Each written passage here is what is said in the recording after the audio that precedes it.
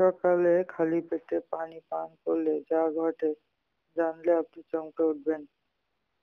জাপানিদের জীবনে দারুণ একটি নিয়ম হয়েছে, সকালবেলা ঘুম থেকে উঠে খালি পেটে পানি পান করা। বিভিন্ন গবেষণায় এই অভ্যাসের অসংখ্য উপকারিতা নিশ্চিত করা হয়েছে। এর মধ্যে সবচেয়ে প্রধান উপকারিতা হচ্ছে অ্যান্টি এজিং অর্থাৎ বয়স প্রতিরোধ।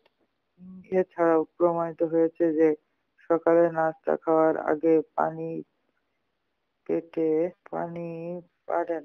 এই অভ্যাসের দীর্ঘদিন দীর্ঘস্থায়ী বিভিন্ন রোগের প্রতিকার করতে সাহায্য করেছে। যেমন মাথা ব্যথা, হার্ট ধরপড় মৃদুরোগ ব্রনকাইটিস, হাঁপানি টিবি মেনিনজাইটিস কিডনি এবং মূত্রনলীর সমস্যা গ্যাস্ট্রিক ডায়রিয়া পাইলস কোষ্ঠকাঠিন্য এবং চোখের সমস্যা। এছাড়াও নারীদের অনিয়মিত মাসিকের সমস্যাও সমাধান হয়। যেভাবে এই উপকারিতা পাবেন। সকালবেলা ঘুম থেকে ওঠার পর এক বা দুই গ্লাস পানি পান করুন। এরপর বাথরুম বা দাঁত ব্রাশ করুন।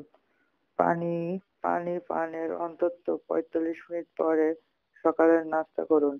ব্রেকফাস্ট, লাঞ্চ এবং ডিনারের পরেও দুই ঘণ্টার জন্য কোনো খাবার খাবেন না।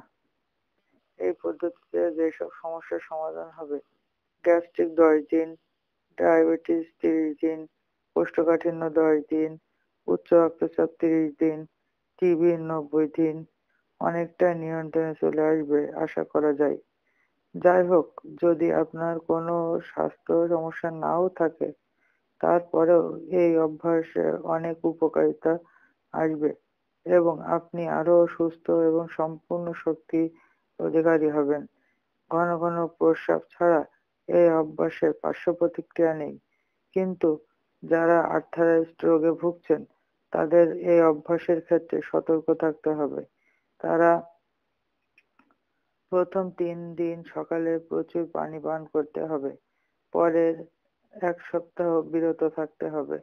তারপর আবার একই ভাবে চলবে। আমার চ্যানেলটা যদি আপনাদের ভালো লেগে থাকে, অবশ্যই সাবস্ক্রাইব করবেন, লাইক, কমেন্ট, শেয়ার করুন।